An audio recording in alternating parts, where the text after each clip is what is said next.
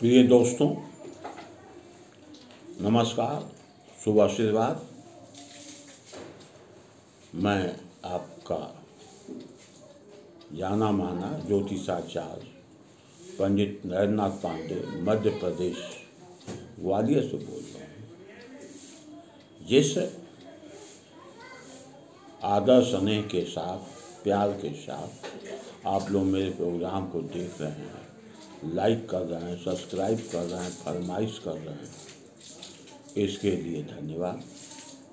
दोस्तों, आप लोग इसी प्रकार से मेरे प्रोग्राम को देखते रहें, खुद कुंडली देखने के ज्ञाता हो जाएँगे आप लोग के सहयोग के लिए मेरे प्रत्येक वीडियो में मेरा फ़ोन नंबर दिया हुआ है, डिस्क्रिप्शन में भी दिया हुआ है। फिर भी मैं बोल देता हूँ मेरा phone number nine four two five three zero zero eight triple ये फ़ोन नंबर मैं इसलिए देता हूँ, कि कोई विशेष कार्य की बात हो तो मुझसे फ़ोन पर बात करिए। मुझसे आपका सहयोग करने लायक होगा तो आज मैं भैया दोज का दिन है। आज सभी भाई बहनों को मेरा शुभ आशीर्वाद।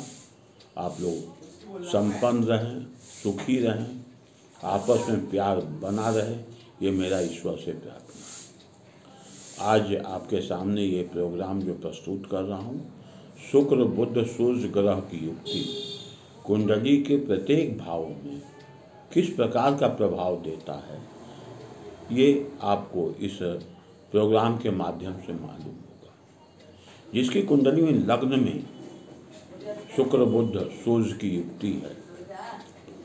ऐसे लोग बुद्धिजीवी होते हैं, कर्मठ होते हैं, कर्म के कुशल खिलाड़ी होते हैं, दूरदर्शी होते हैं, जिसके कुंडली में दूसरे भाव में शुक्र बुद्ध सूर्य की युक्ति है।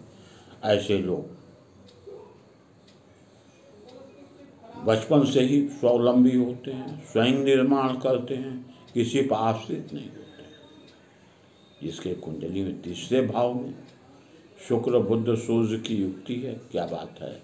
ऐसे लोग उदार होते हैं, दयालु होते हैं माता पिता के सेवक होते हैं और किसी प्रकार की लालच इनको अपने परिवार से नहीं होती। जिसकी कुंडली में लग्न से चौथे भाव में शुक्र बुद्ध सूर्य की युक्ति हो ऐसे लोग शौकीन मिजाज के होते हैं।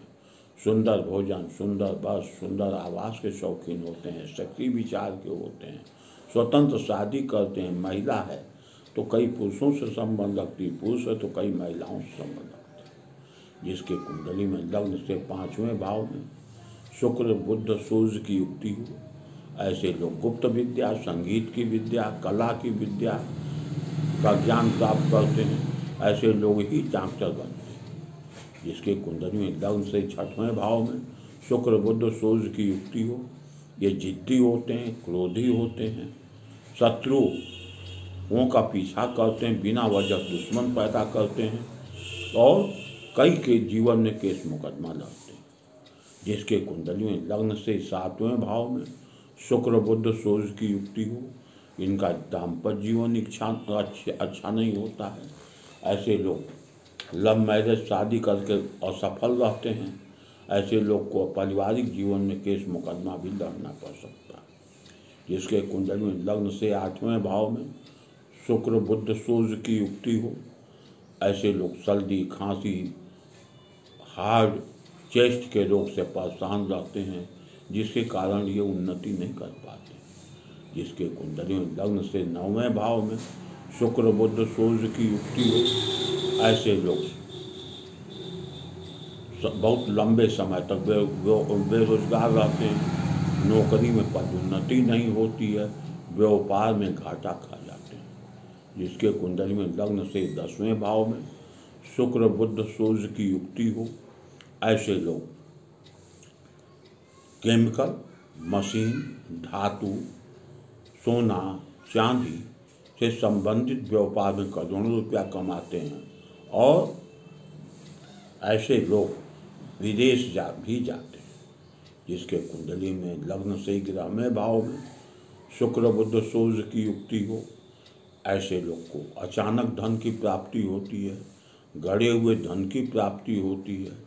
ऐसे लोग कम परिश्रम में अधिक धन कमाते हैं, छोटी नौकरी करते हैं और उच्च अधिकारी बन जाते हैं, इनका जीवन सफल होता है। जिसके कुंडली में लग्न से बारहवें भाव में, शुक्र, बुद्ध, सूर्य की युक्ति हो, ऐसे लोग। जीवन में सोचे हुए अधिकांश कार्य को पूरा कर लेते हैं। ऐसे लोग के संतान भी योग्य होते हैं, परंतु अनलक्की होते हैं। इनके कमाए हुए धन को कोई दूसरा उपयोग करते है ये छोटा सा वीडियो आपके सामने मैंने प्रस्तुत किया, इसको सुनिए।